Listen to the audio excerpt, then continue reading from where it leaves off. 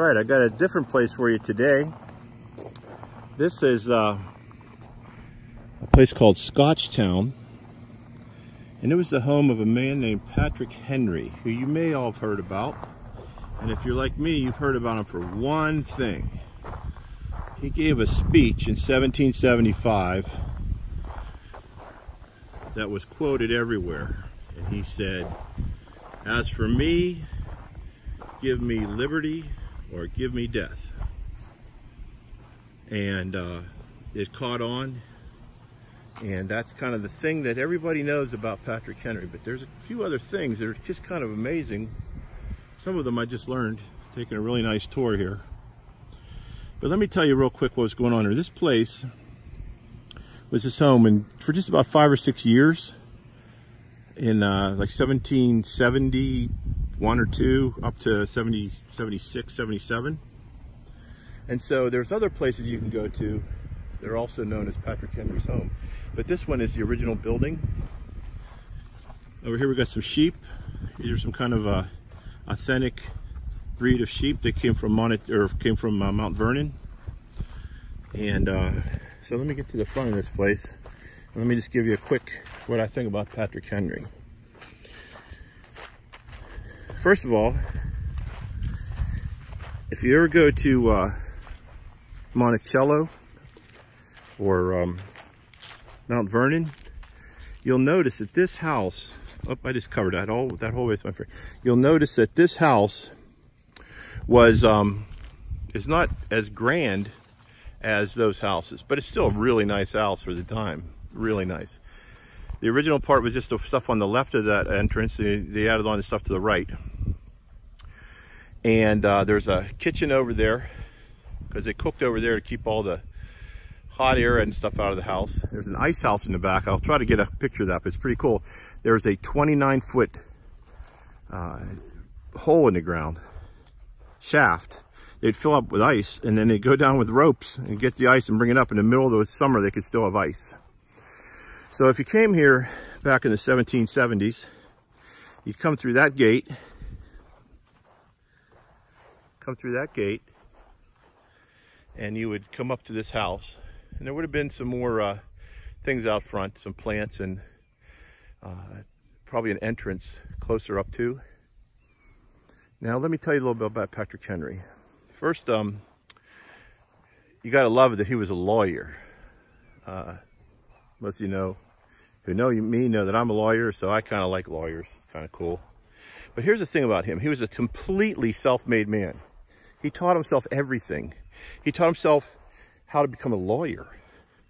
And Thomas Jefferson complained about that in his writing, saying, Patrick Henry kind of got everything too easy. He became a lawyer in four to six months of study.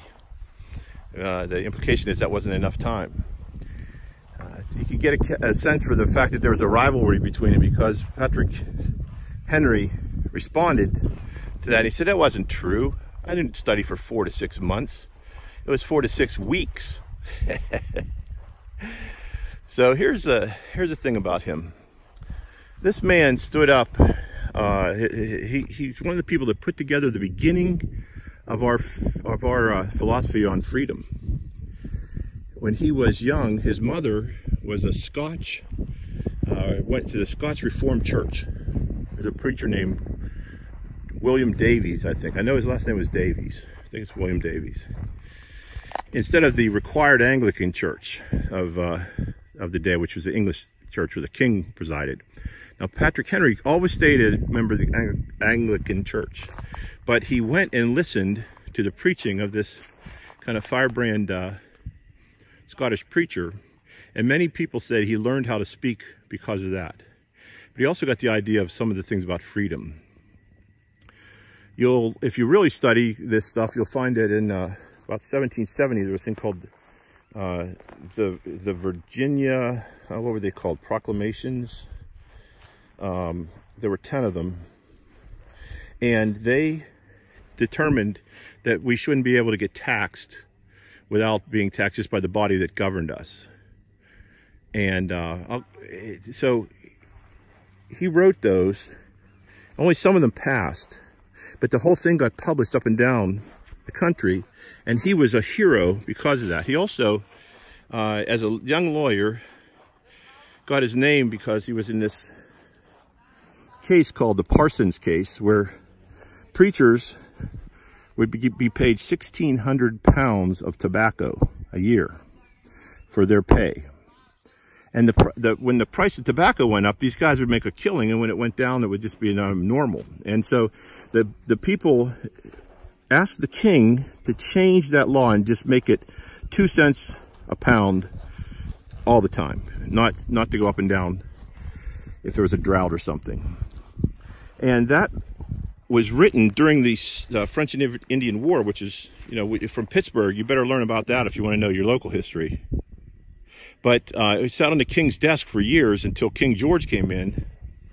German king from Hanover, Germany, became the king of England, and he just threw it out. Said that's ridiculous. We're gonna we're gonna we're gonna follow the church. We're gonna give them this money, and that's it. Well, Patrick Henry eventually, in that case, was asked to, on behalf of the king, argue for what the damages were.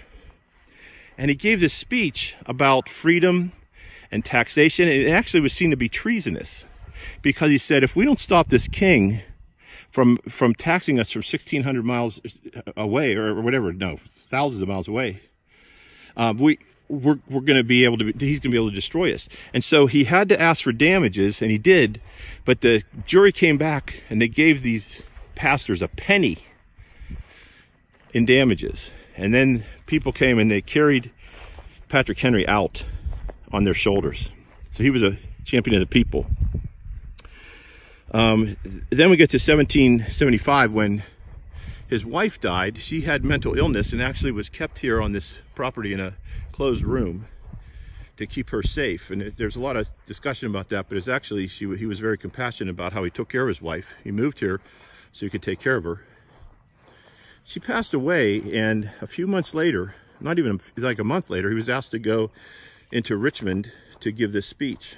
And he said he would. People thought he wouldn't go, but he did it. And that's where he said, give me liberty or give me death. And then he, he was off and running to being a father of the revolution.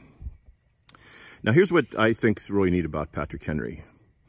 A lot of the other guys from the revolutionary era, you see, they just kind of took off in a national way.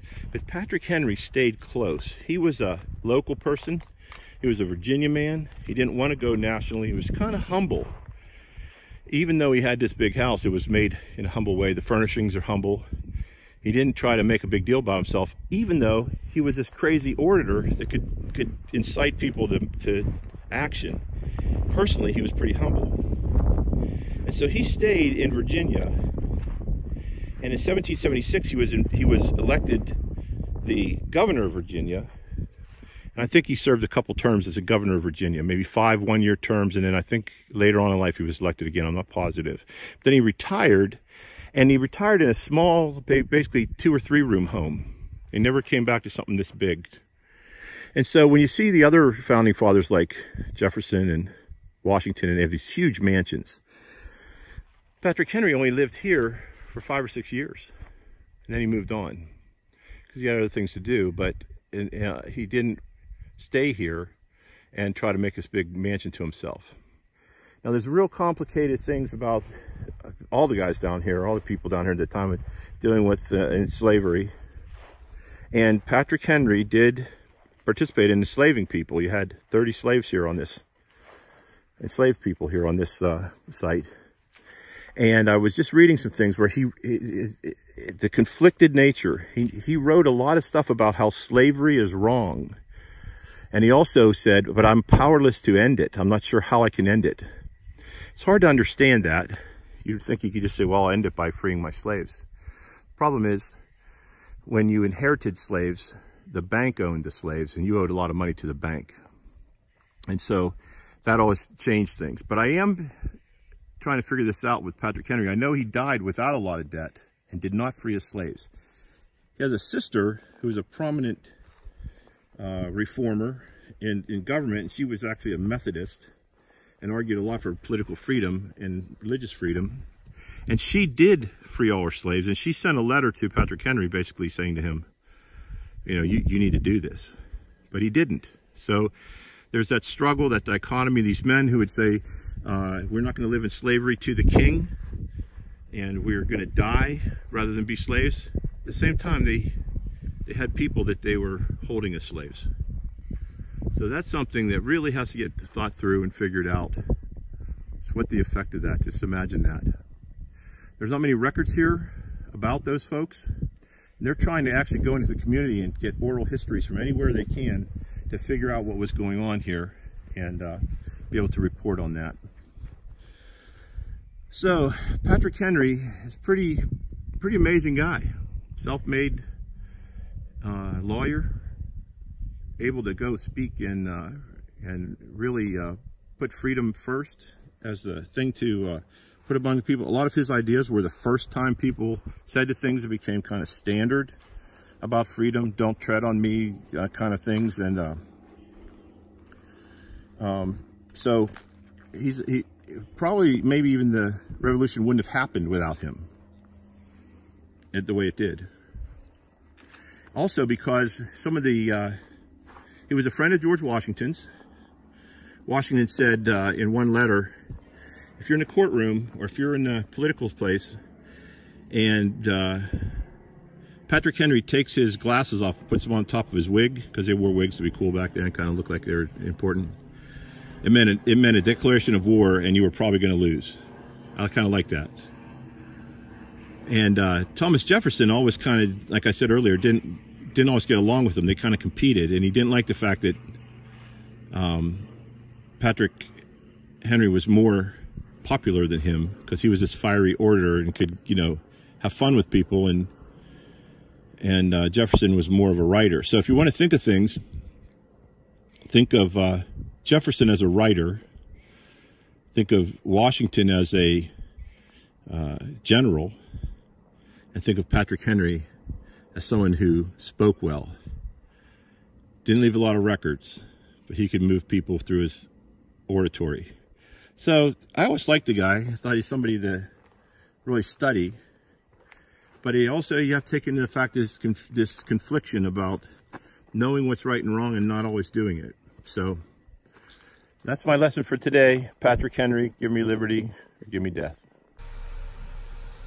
All right, I got a really cool thing today to talk to you about. We're in, this, we're in the town of Rocky Mount, North Carolina. And I'm kind of looking around for history, you know, as I go, and I came across something I just think is so cool. First, I got to show you through the uh, sunroof of the potato here. I got to show you a place. Okay, this is the Booker T. Washington High School. I hope you got a good view of that. It was a high school back in the 50s and 60s in this town that was, uh, I'm going to close the moonroof here, sunroof, sorry. It's going to make a little noise. And um, it was uh, a segregated high school, which meant that there were all African American students there. And um, it was a place that was kind of a center of their of their community. They'd meet here and have, have you know talk about stuff and um, and they would have uh, discussions about voting and democracy and how to participate in the democracy. And they have these evening series of speeches and things. And the local Baptist preacher um, asked for Martin Luther King to come here in 1962 and um, in November, November 27th, 1962. Now, the interesting thing is, this is um, a year before his famous speech, which is probably one of the most famous speeches, other than maybe the Gettysburg Address in American history, uh, the "I Have a Dream" speech. It was given in the on the uh, Washington Mall, and i am sure you've seen that. If you don't know what I'm talking about, you got to learn what that's all about. I have a dream. Okay, well here's the cool thing. The night, um, and this would be nine or 10 months before that speech, the night um, that the speech happened here, people uh, later said, you know what, Martin Luther King gave a speech in Rocky Mount where he first started talking about the I Have a Dream uh, theme in his, in his speeches. And uh, historians went back through and they looked through the newspapers, and there were two newspapers here, and they didn't mention the I Have a Dream. They said, uh, that he said uh, he that he they quoted Dr. King to say, "He who sits around and waits on time to bring freedom will be waiting another century." And also, and I, and you know, terminology is different from back then. He, he, there's there's a couple words he's going to use that maybe you're not used today as commonly, but this is Martin Luther King's a quote of him. King said, Negroes in North Carolina have to get to voting so that they can send politicians of their choice to Congress to effect the passage of civil rights legislation. That's, that's a, a broken up quote taken from the newspapers. Well, so anyway, there's this oral history that, that Martin Luther King talked about I Have a Dream, but the historians couldn't find record of it, and so it was kind of doubted. People said maybe that you didn't recall that correctly. Well, two days ago, October 3rd, a news article came out. A local um, uh, professor named Jace, W. Jason Miller from NCSU. I'm not sure exactly. That's North Carolina something university. And um, he he found a recording of the speech and he had and he worked to restore it. It's a it's on old acetate reel to reel tape, and then he uh, transcribed it. And guess what? It says, "I have a dream." It's it's it's it's the nascent beginning of the I Have a Dream speech. So this little high school behind you is a place where Martin Luther King first started working on some ideas. And he was asked a question about what were his hopes for the future. And he, he responded. Um, and so here, I'm, I'm going to read this quote the best I can. And if I screw it up, I'm going to just keep going because I've, this is the second time I tried to, to, to read a Martin, the, the, the, speech here. And it's, uh, you know, it's really hard to try to read a Martin Luther King Jr. speech as if you're, a, a, you know, no one could do that, eh, give it justice. But I'm going to try because I think it's really important that we get this. And if you know the uh, I Have a Dream speech, notice how many elements of that are in here, but how it also it got polished up a little bit and got, um, you know, more elegant by the time it, uh, nine, nine months from now. Just fascinating. I, would love to get this transcript and the transcript of I Have a Dream speech. That'd be a really cool thing for somebody to do for a senior project and look into this and how it changed and what, what happened. But here's what, um, here's what Martin Luther King Jr. said. Um, and so, my friends in, of Rocky Mount, I have a dream tonight. It's a dream rooted in the American dream. I have a dream that one day in Sasser County, Georgia, where they burned two churches down a few days ago because Negroes wanted to register and vote. One day, right down there, little black boys and little black girls will be able to join hands with little white boys and little white girls and walk the streets as brother and sisters. I have a dream that one day right here in Rocky Mountain, North Carolina, the sons of former slaves and the sons of former slave owners will meet at the table of brotherhood, knowing that out of one blood God made all men to dwell upon the face of the earth.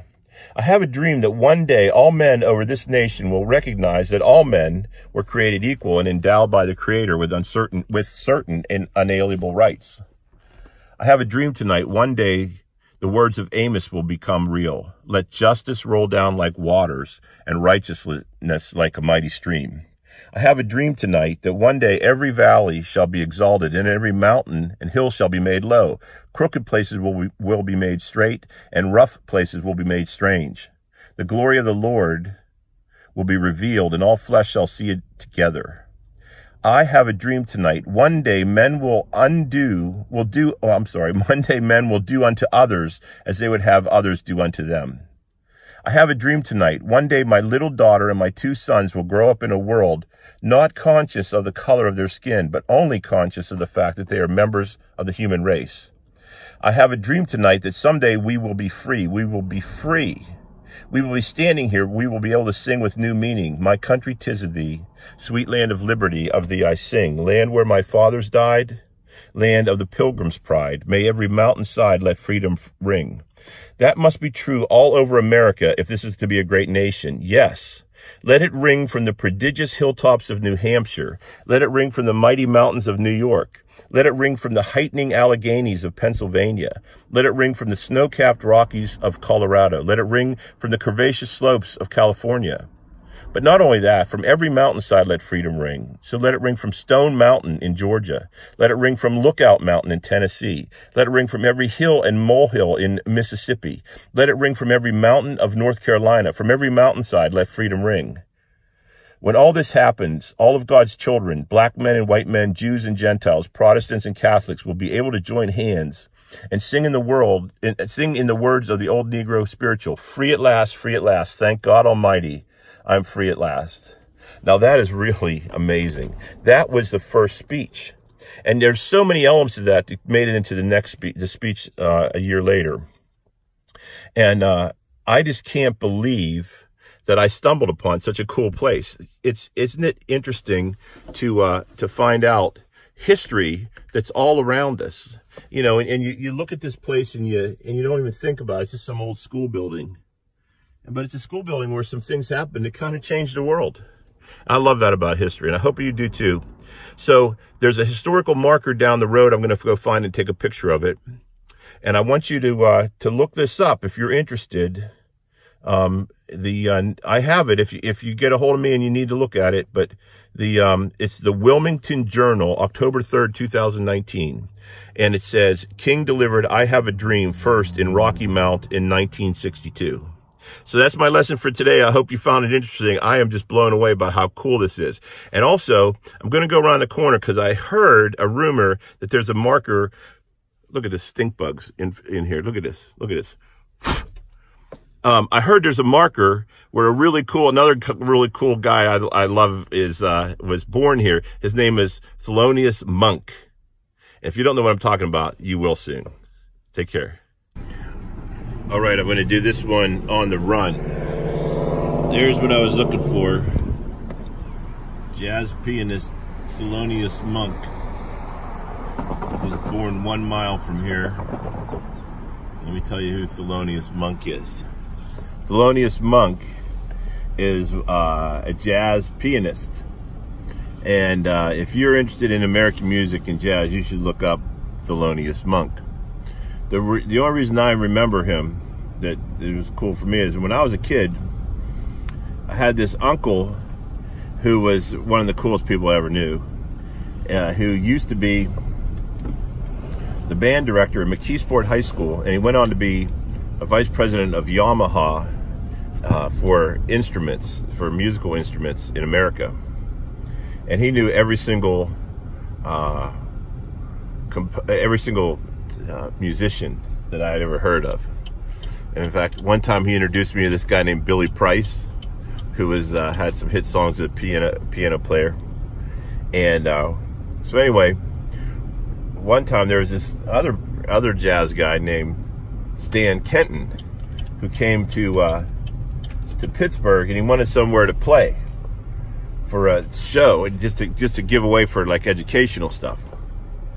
And so uh, so um, I don't even know where I'm at right now. Okay, so so Stan Kenton came and uh, through my through my uncle Ed Garbett, he called his niece, who was my mom, and said, "What's you know about?" Found out about Penn Hills High School, and, and told Stan Kenton that he should come to Penn Hills to play. And I thought it was really cool because it was the first time I saw a contract where somebody got to say, I need this certain grand piano. It has to be a certain height, and you have to build a build a platform. And the the people in Penn Hills like quickly built this platform to put this grand piano on, so that Stan Kenton would come and play. So he came and played at our at our junior high school, or our intermediate, Linton Intermediate in Penn Hills. And uh, it's this crazy dissonant piano, it, it, it, just wild stuff. And I remember that when someone asked was asking him questions about his style and everything, he said, "Well, you got to understand Thelonious Monk," and I didn't know what the heck he was talking about. And so I looked up what Thelonious Monk is. The Thelonious Monk is this really innovative jazz musician, and so look into his life.